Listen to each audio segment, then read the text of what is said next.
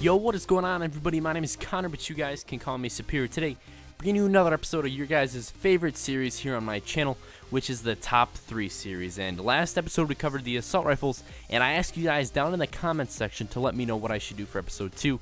Uh, and you guys voted on perks, so that's what we're going to be covering today. Right now, I want you guys to drop a comment on what I should cover in the very next episode of Top 3. So go ahead and just drop a comment down below. So without further ado, let's jump right into number 3.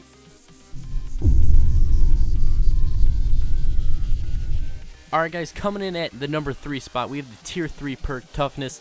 Now Toughness has been in pretty much every single Call of Duty since like Black Ops 2 or something like that. So it's been in a lot of them, and really in any other Call of Duty this would have been my favorite perk. But in Call of Duty Advanced Warfare it doesn't really do too much, so you can get by with just putting on Blast Suppressor or Scavenger, whatever other perk you want. So it really, really is an amazing perk, and I love using it, but um, I definitely don't think it deserves the number 1 spot or the number 2 spot. So uh, it is stuck at spot number three. But if you don't use this perk and uh, you know you find yourself losing a lot of long range gunfights or even close range gunfights, definitely try it on. I promise it will help you out a ton.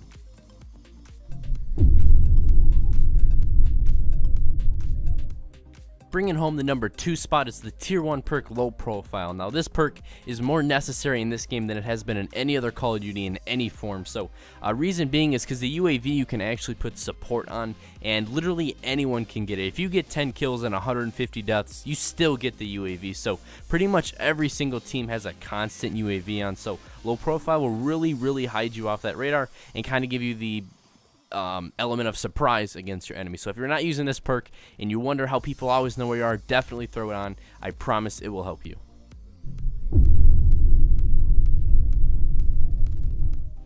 Ladies and gentlemen, the number one perk in Call of Duty Advanced Warfare is Blast Suppressor. Now, reason being is because with how much you use your exo abilities or whatever with the dashing, the double jumps, and everything like that. Whenever you do that, it puts a little dot on the radar uh, right where you are, so all the enemies know. So uh, the perk Blast Suppressor actually gets rid of that, so it doesn't put that little dot. And if you combine this perk with something uh, like a suppressor and low profile, you can literally be a ninja. So um, definitely combining those two perks, it makes an extremely deadly class setup, uh, making it a lot easier to get a DNA bomb or 100 plus kills or just go on bigger kill streaks uh, just in general. So uh, if you're not using Blast Suppressor, I highly, highly recommend it. I think in the way this game is played and how it is, it is almost necessary to have that perk at all times. So I do hope you guys enjoy this episode of Top 3. Go ahead and drop a comment down below on what I should do for the next episode. And I'm also thinking about changing it so um, it's all Call of Duty. So it wouldn't be top 3 perks in Advanced Warfare.